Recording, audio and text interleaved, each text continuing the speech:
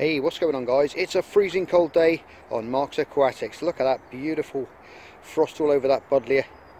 Absolutely stunning. Mother Nature's been painting away again. All over the bushes, all over the fields. Me and Spuddy and the wife. Say hello to the people. Hello, hello. people. Hello. And little Spuddo over there, freezing cold feet. We're out walking around. And what we're going to do today is we're going to look for some nice little bits of oak. And we're going to make some pleco hides back in the workshop when we get back. Spud just fell over. What are you doing? What are you doing? Stop falling over on the ice. You silly boy.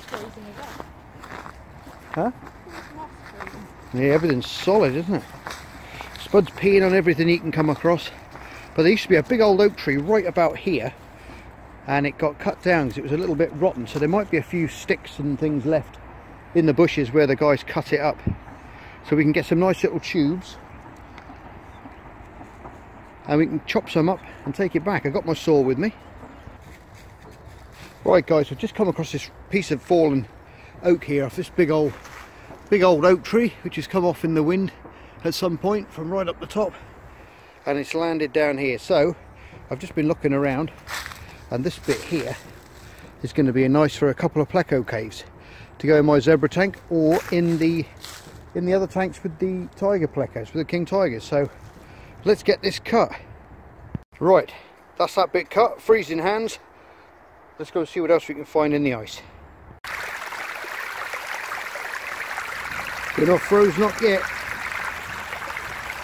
But a lovely little stream. What do you think, Spud? What do you think? You gonna cross the little bridge? You gonna cross the bridge? Come on in. You come on in. Come on in. You coming? Like hell I am. That water's freezing, he's saying. Ooh, let's get back to the workshop. Ooh, that's better, guys. Back in the workshop again.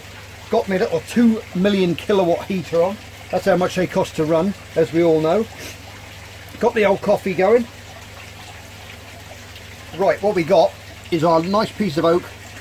Nice and solid in the middle, not rotten at all. And what I'm going to do now is I'm just going to, well, I've got my, I'll just uh, move you around slightly. I've got my crosscut saw down here on the floor and amongst all this mess.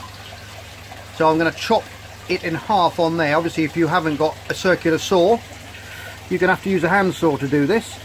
A pillar drill is really handy, okay? Like this one I've got here. It's only a small little pillar drill and obviously you're not going to want to buy a pillar drill just to make these. But another good trick which I do and I have done in the past okay? Now oh sorry. What I'm going to use to drill the hole in is, is, a, is a bit it's called a Forstner bit okay? And it's that little bit there. And that's going to go inside and cut me a nice hole all the way down there. I can adjust this table. But what I've done in the past is I've taken my cordless drill with me to the woods. Okay in a little rucksack with a saw in as well. That's the saw I use one of these little collapsible little saws which are super sharp. And then what I've done is if you imagine now that is still stuck to the tree on the limb of the tree like that. Get your cordless drill because that's lovely and solid on the tree still. You can drill your hole in there okay and then you can cut it off the length you want it okay? So it's it's it's fixed in there nice and tight Obviously with a pillar drill now I can hold that nice and square. I'll cut that little kink off there so it's nice and level and then I can drill in the length of the bit either side and make two caves. So that's going to be good. So remember that little trick guys. Take your drill down into the woods and you can drill straight into the branch. Obviously cut it off first like that and then drill into it, drill your hole. It'll be lovely and solid and then just cut it off with the saw just obviously past where you've cut. So you've still got a blanked off end. And then you'll have a nice little mother nature type uh, hide for your plecos okay? Now I'm going to put this in here. And they don't need to be extremely deep. Help if I did it the right way.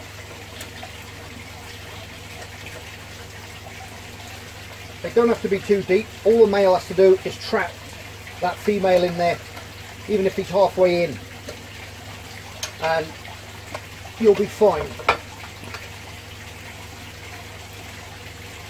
get that leveled up down there so we've got a nice distance.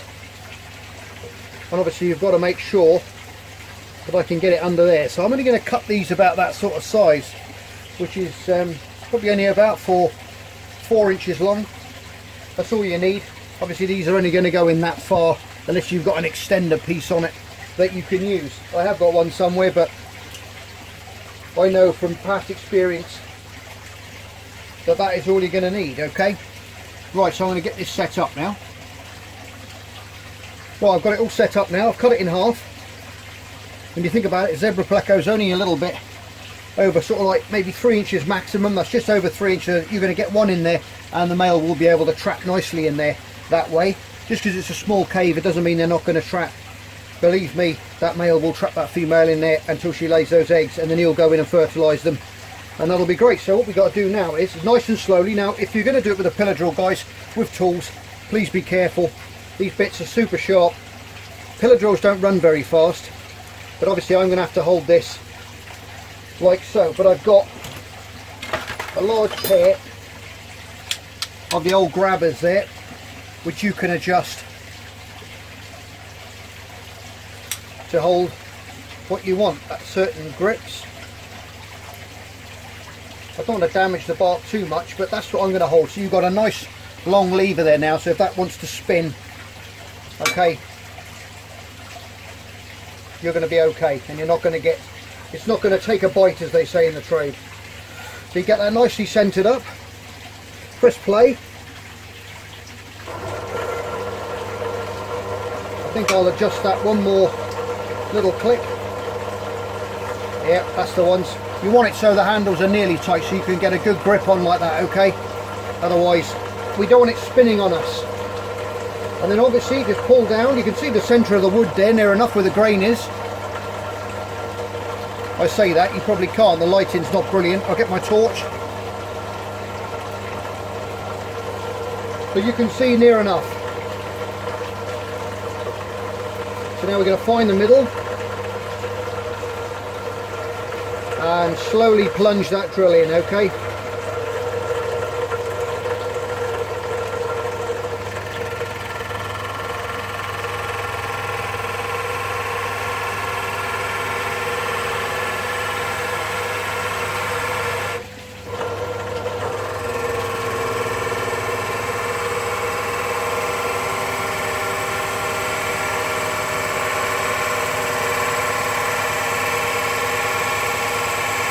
It's going to take a while, but keep it going nice and slowly. And there you see you're starting to cut that nice little hole out. Doesn't have to be 100% central. Don't forget the wood's not completely round. So I'll stop you and I'll get back when I've done it, okay? Right guys, we're nearly there. Just a little bit to go.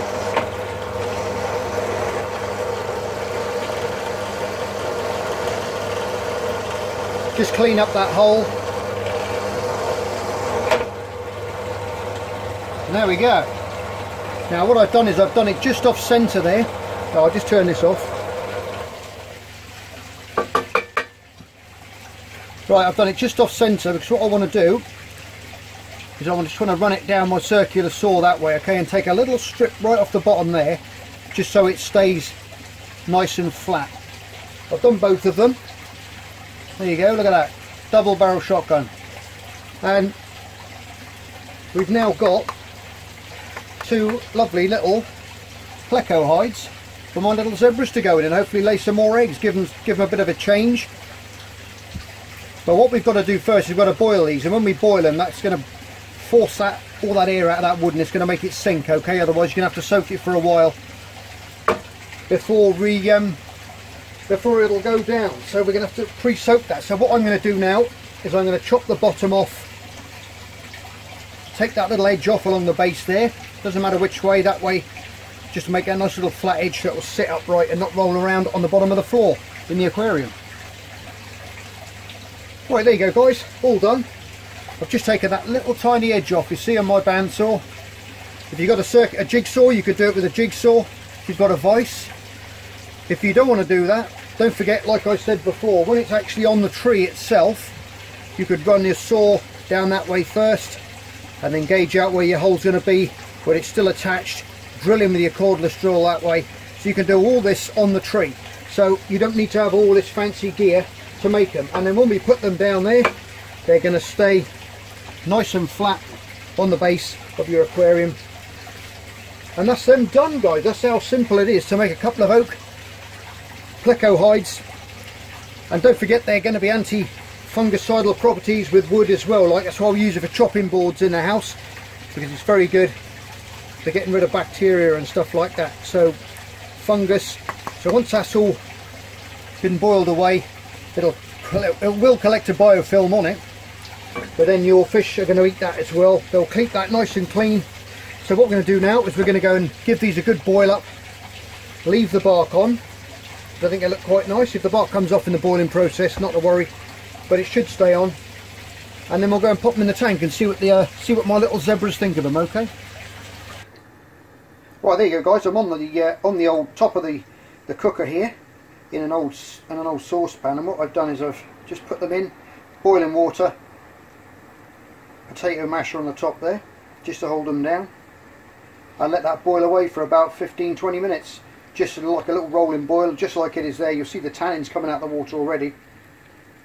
So that'll stop it leaching out into your into your aquarium later on and discolouring your water up. It won't do you obviously it won't do it any harm, but some people like crystal clear water and others aren't too fussed about it. But um, it's all beneficial tannins, so it's all good stuff. So I'm going to leave them for 20 minutes, then hopefully they'll sink, and then we can pop them into the aquarium. Anyway guys, while that is boiling away, I thought I'd show you the uh, what's been going on. You can see there's lots and lots of little babies shrimps hopping around on top of that cucumber. Look how small they are. Not long hatched, those little guys. And they're all over the place. Which is nice to see. And also, if we come up here, I'll just zoom back out again. All those plecos that were down in the King Tiger tank have all hatched. And they're in this tank here. I keep them in here for a little while just so those little egg sacs get absorbed. Look at that lot. Probably another hundred or so there. Little bristle noses. The other ones are growing quite nicely now down below. Putting on some weight. There's a few more around the, the edge of the pot here. I think what I'll do is I might put the um, there's one of the zebras hiding under there. I was going to put them in here, but that guy's still trapping that female in there, so I'm not, I don't think I'll put them in there. I think I'll actually put those oak hides in here for the time being. I think I'll just put them under that log, just in case they don't sink. I can lift that log just up a little bit, put them underneath, and rest that log on the top of them. And the bristlenose can go in there as well, and they can use them. So uh, I can always make as many as I like later on that's the lovely thing about nature, you can just go out, grab hold of a piece of wood, cut yourself up some, save yourself some money and have some good fun doing it as well. Anyway, let's go back and see what these uh, see what these little hides are doing in the pot.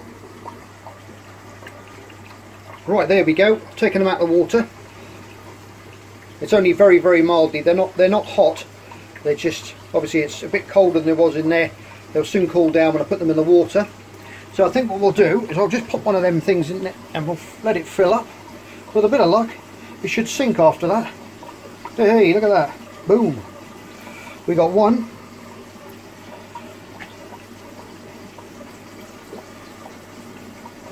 And we've got two. Now if I get my little my little stick, sorry about the shaky camera work guys. we can put one there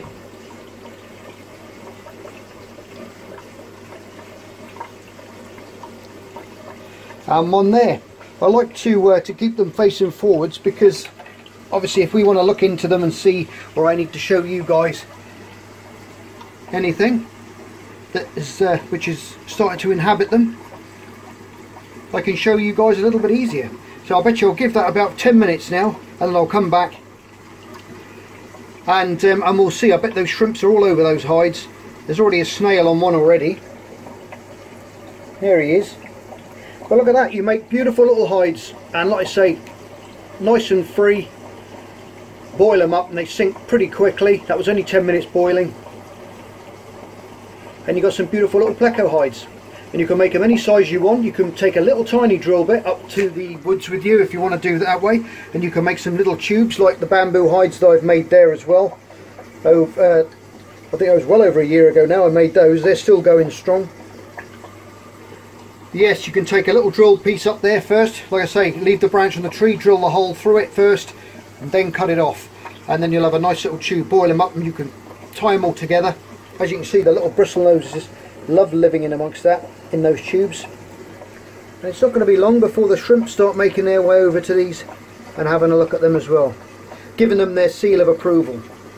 And hopefully the plecos will as well yeah like I said guys it doesn't take long for nature to realise there's something nice nice smell of wood. Those little baby bristle nose are all over it already look. Fantastic stuff. Mooching around little shrimps are on there all making their way towards it. Something new in the tank to explore. And look at that they're straight in that hide already. Doing what nature intended them to do and that's hide away go in their little caves and be happy little plecos anyway guys I hope you liked that little episode on how to make your own little oak caves. As always you're all stars love you loads and I'll see you on the next episode of Marks Aquatics. Bye for now